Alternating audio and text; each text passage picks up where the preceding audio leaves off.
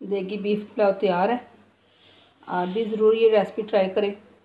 अगर आपको मेरी रेसिपी अच्छी लगती है तो इसे लाइक करें शेयर करें और मेरे चैनल को सब्सक्राइब करें।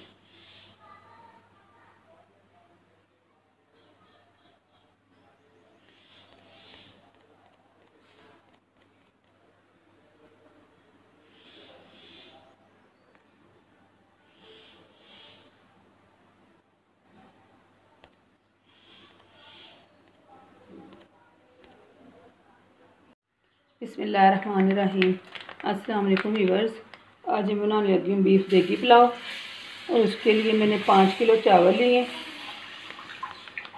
और एक किलो ऑयल है और मैं डाल रही हूँ पूरा पैकेट।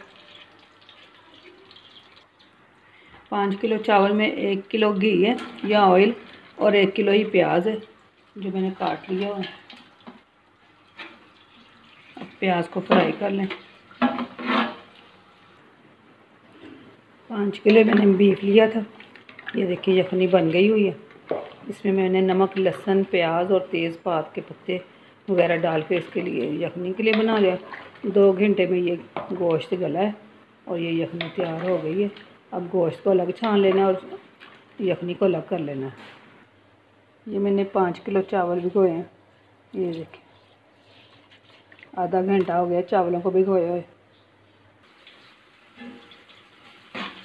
जब तक ये प्याज ब्राउन होते हैं, हम इसमें डालने वाला मसाला तैयार कर लें। आधा किलो मैंने दही ली है। पाँच चम्मच मैंने दही में डाले थे, नमक के, और उसको जख्मी में डाले हुए थे। अब तीन चम्मच ये मैं दही में डालूँगी। अगर कम हुआ तो चेक करके दोबारा डाल दूँगी। ये भी लहसुन, अदरक और सब्ज़ मिर्चें, इसको भी कूट लिया हुआ है।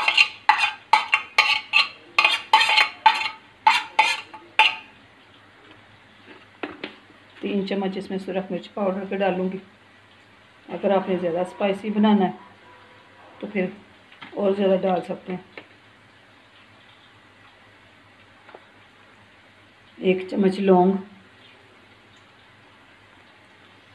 एक चम्मच वादे खताई के फूल,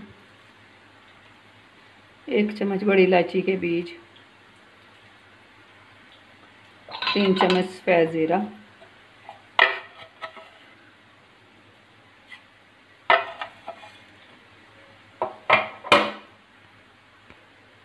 एक चम्मच भर के सौंफ। सौंफ का बहुत ज़्यादा टेस्ट आता है इस पुलाव में। काली मिर्च, साबत, दो चम्मच।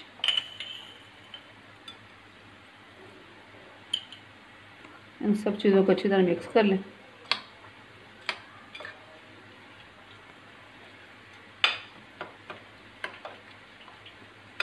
सारा मसाला तैयार हो गया। अब प्याज ब्राउन हो जाए, तब उसमें डालना।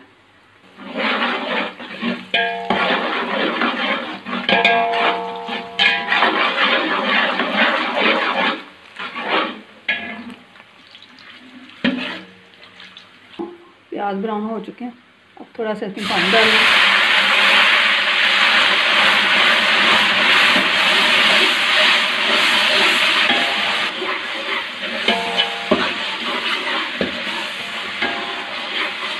ये देखिए प्याज का कलर निकल चुका है। अब इसमें गोश्त डाल देना जो उबला हुआ है।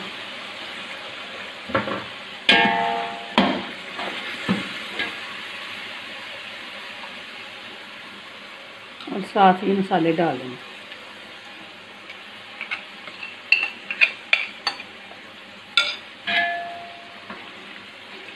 इस मसाले के साथ अच्छी तरह गोश्त को भून लेना।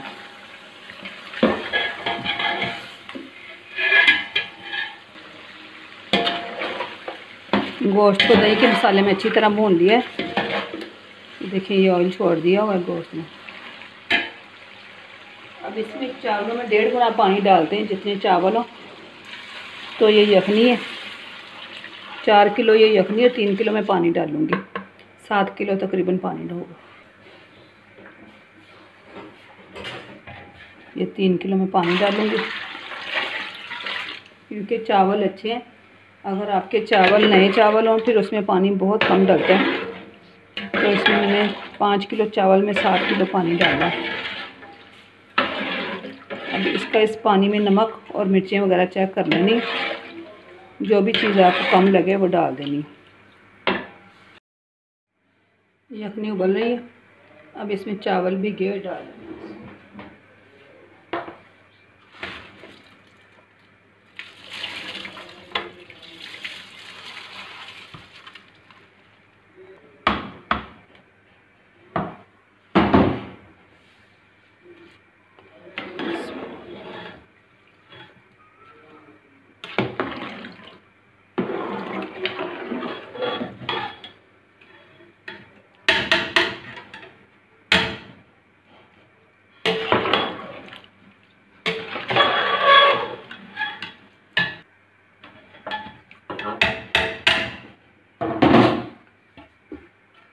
अब कवर करके पका लें और चेक करते रहें, पानी खुश्क होने पर इसको दम लगाना है।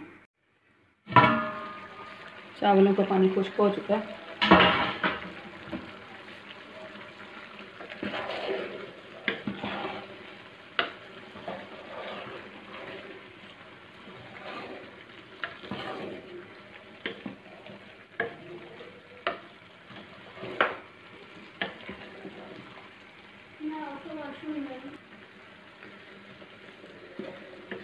पानी बिल्कुल खुश्क हो चुका है।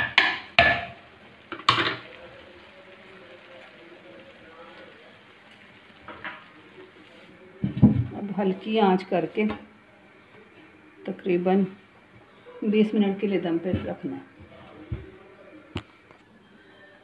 ऊपर कोई वजनी चीज़ रख दे। बीस मिनट हो चुके हैं, अब फ्लेम ऑफ़ करती हूँ चावल को चेक करती हूँ। बिस्मिल्लाह।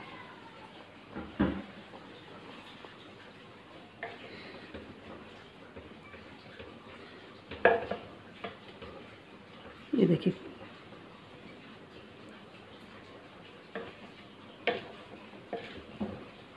अब मैं डिश आउट करती हूँ। देगी बीफ पुलाव तैयार है। आप भी ज़रूर ये रेसिपी ट्राई करें। अगर आपको मेरी रेसिपी अच्छी लगती है तो इसे लाइक करें शेयर करें। और मेरे चैनल को सब्सक्राइब करें।